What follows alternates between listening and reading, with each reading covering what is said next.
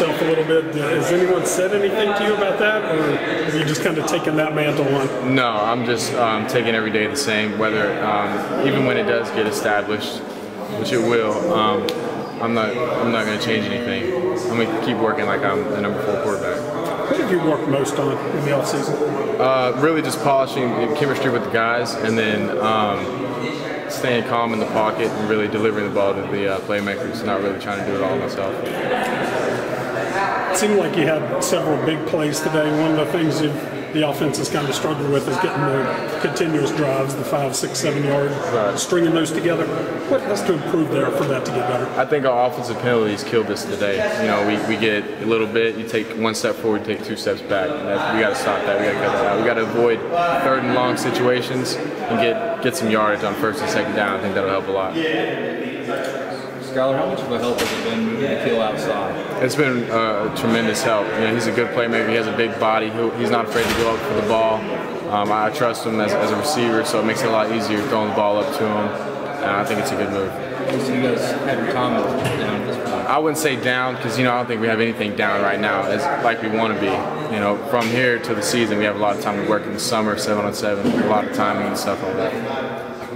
Is that just repetition? Repetition. That yeah, that's all it is. He's only been there a few weeks, so I mean, for the success we've already had, I said I think that says something. You know, when it's not nowhere close to where it will be.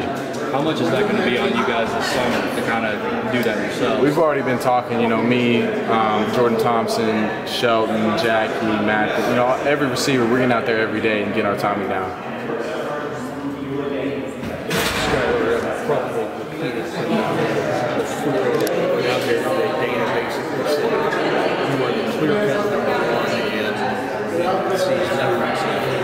That should change between now and next season. Does that do anything for you, to you?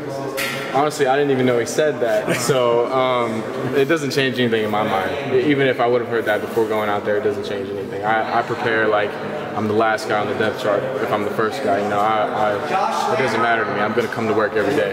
It doesn't change anything. Does it change anything? Uh, you'll be going apparently going into the summer as the number one. There's no competition. I mean, does that free you up maybe to work with receivers, work with your line, or something like that, or, or and, and still approach it as? In a sense, it does because I'll, I'll, be I'll know the guys that I'm going with, so it gets allows that chemistry to build.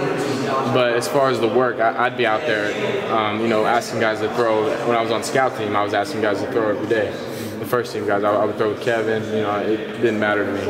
I'm gonna work on getting better every day with, with the guys we have.